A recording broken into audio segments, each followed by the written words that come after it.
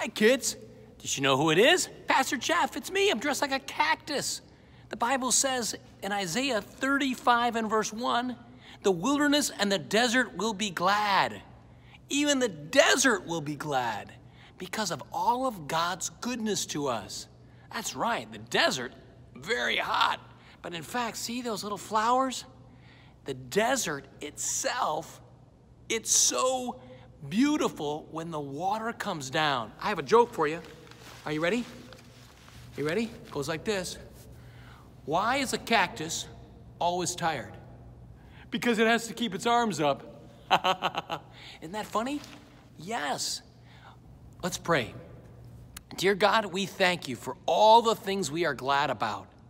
We thank you for mom and dad and brother and sister and grandpa and grandma and friends and neighbors.